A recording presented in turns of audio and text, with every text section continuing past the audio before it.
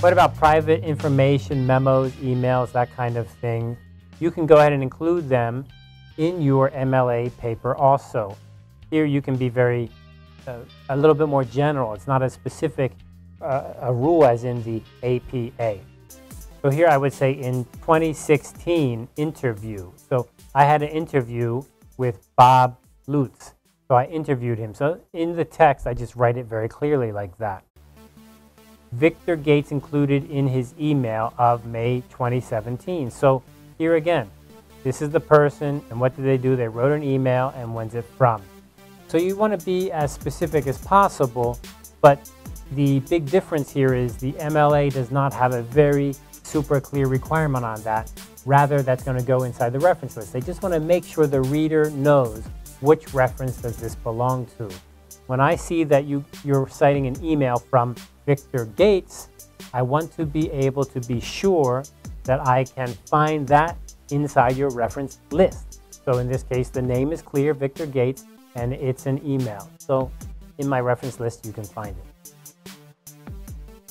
Here would be what the reference list looks like. So this is at the back of the paper. We're going to study this more in the next section we cover, but here is the Lutz, that's the person's name, last name first, first name last, and it's a personal interview, and it is 20 April 2016.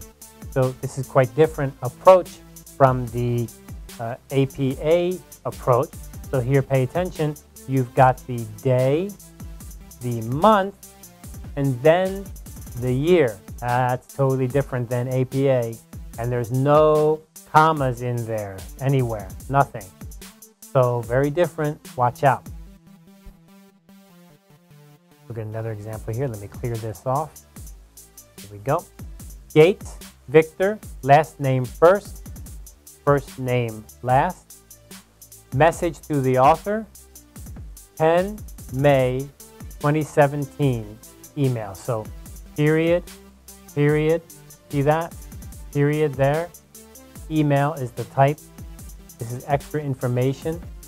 This is a this is the way the APA kind of functions. They want you to kind of get the overall idea rather than very, very specific rules. But again, we're not doing that this section. I'm going to look at that the next section when we talk about the reference list. But there you go, very cool. The DOI is the Digital Object Identifier, and a DOI is a number that helps people to find exactly where this information is on the internet or in a database. Because information is always changing on the internet, changing its location, if you just give a URL address two years from now, 10 years from now, 20 years from now, certainly the URL will probably be changed or the information could be gone. DOI, Digital Object Identifier, is a way that publishers guarantee that as long as you have that number, you can find it at that number in the future. So you will see, you will see DOIs in all modern publications, especially if you're using the database interface to see them. And when you put them inside of your paper, then you will basically follow the same rules as the citation rules. DOIs are mostly used in the reference list, not in the citations, but they can be used in citations if that's all the information you have, for example. Okay, so that covers our MLA citations, that is inside the text the citations, and I think uh, you get the idea. The most important point to remember is the MLA and APA are very different. And again, these are different from other styles. And every journal to be different in what they want. You need to follow that journal. If you're doing a dissertation or a thesis, probably your school is following either MLA or APA.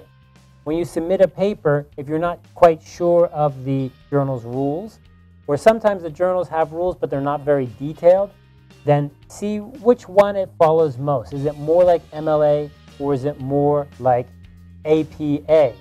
And choose that one to follow for your research paper.